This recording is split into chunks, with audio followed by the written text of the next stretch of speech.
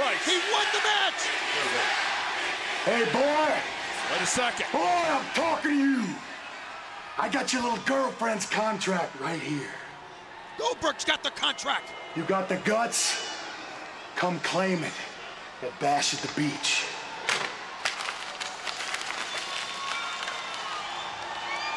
Is that still valid? Goldberg just ate Scott Hall's contract. And it sounds like, is it going to be Hall? Is it going to be Nash against Goldberg at Bash at the Beach?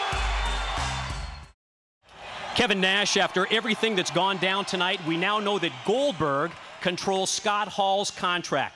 To save Scott's WCW career, you must face Goldberg July 9 at Bash at the Beach. How ironic, July 9th is my birthday, and I got a place down at Daytona Beach. You know, Goldberg's been watching the movie Terminator too long, too many times. He's got to remember one thing I'm the only guy that's ever beaten him. Scott Hall's career on the line, I got no problem beating his ass. The thing is this it's in Daytona,